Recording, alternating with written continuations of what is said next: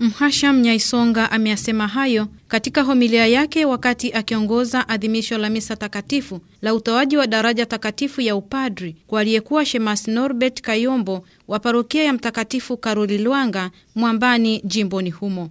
Uwe Yesu kwelikweli, kwa sababu wito wako ni wito wa sadaka.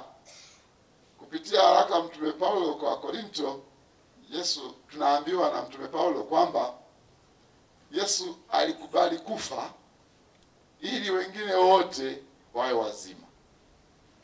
Yeye amekufa ili wawe wazima, lakini haishii hapo, na wengine wote walio wazima wanapaswa kufa wengine wawe wazima.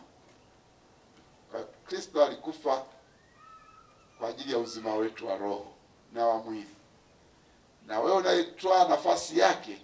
Njia ni hiyo hiyo, maisha yako ni sadaka. Aidha, Askofu Mkuu Nyaisonga amesema padri hawezi kukwepa uongozi katika utumishi wa utume wake. Hawezi kuepuka kufanya kazi ya unabii, kufundisha, kuonya, kukemea, kutahadharisha na mengine yanayofanana na hayo ambayo ni majukumu ya kinabii. Katika upadre hawezi kuepuka majukumu ya kikuhani, sadaka kwa, kwa ajili ya maslahi ya kimwili na kiroho ya watu aliyokabidhiwa.